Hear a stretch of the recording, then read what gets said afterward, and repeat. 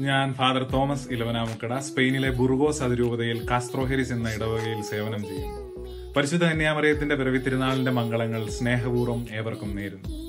പ്രതീക്ഷിക്കാത്ത കാര്യങ്ങൾ നിരന്തരം വിരുന്നെത്തിക്കൊണ്ടിരിക്കുന്ന ഈ കോവിഡ് കാലഘട്ടത്തിൽ പരിശുദ്ധ കന്യാമറിയത്തിന്റെ പിറവി തിരുനാളിന് ഏറെ പ്രസക്തിയുണ്ട്. കാരണം അപ്രതീക്ഷിതമായ സംഭവങ്ങൾ ഒരു ഘോഷയാത്ര പോലെ വരവേറ്റ ജീവിതമാണ് പരിശുദ്ധ ദൈവമാതാവിന്റെ ഉണ്ണീശോയ്ക്ക് പിറക്കാനുള്ള ഇടം തേടിയുള്ള അലച്ചിലുകൾ. സത്രത്തിൽ നിന്ന് ആട്ടിപ്പുറത്താക്കി വേദനയുടെ രാവ്. ഉണ്ണീശോയ്ക്ക് ജന്മം കൊടുക്കാൻ ലഭിച്ച കാലിത്തൊഴുത്ത് ഈജിപ്തിലേക്കുള്ള പലായനം.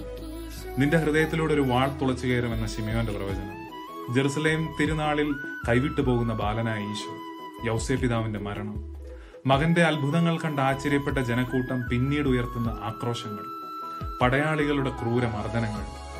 കാൽവരിയിലെ കുരിശിൽ ഏക മകന്റെ ദാരുണമായ അന്ത്യം.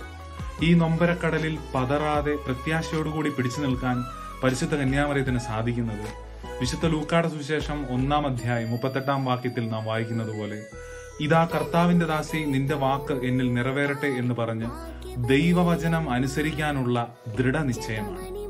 ജപമാലയുടെ മാർപ്പാപ്പ എന്നറിയപ്പെടുന്ന ലിയോ പതിമൂന്നാമൻ മാർപ്പാപ്പ പരിശുദ്ധ കന്യാമറിയത്തെ കൂടുതൽ സ്നേഹിക്കാനും വണങ്ങാനും നമ്മെ പ്രേരിപ്പിക്കുന്നുണ്ട്.